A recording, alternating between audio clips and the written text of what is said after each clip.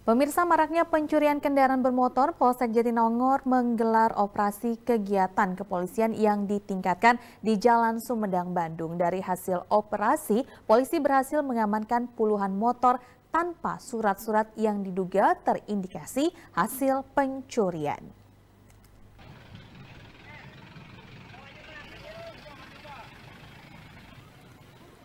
Polsek Jatinangor menggelar operasi KKYD atau kegiatan kepolisian yang ditingkatkan di Jalan Sumedang, Bandung.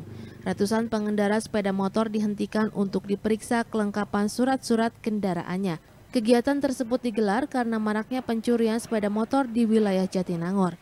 Dalam seminggu pencurian sepeda motor mencapai tujuh kasus pencurian. Kapolsek Jatinangor Kompol Nur Jamil mengungkapkan, dalam operasi tersebut, polisi berhasil mengamankan 50 motor tanpa surat yang diduga terindikasi hasil kejahatan dan 40 dilakukan tilang.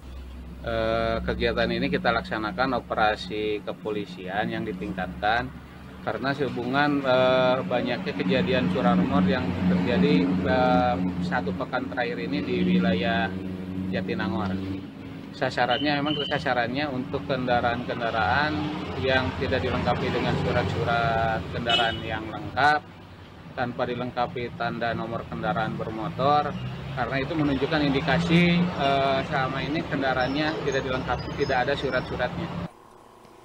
Pihaknya menghimbau kepada pemilik kos-kosan untuk memasang CCTV guna membantu penyelidikan pada saat terjadi tindak pencurian di kos-kosan. Diki Guntara, Bandung TV.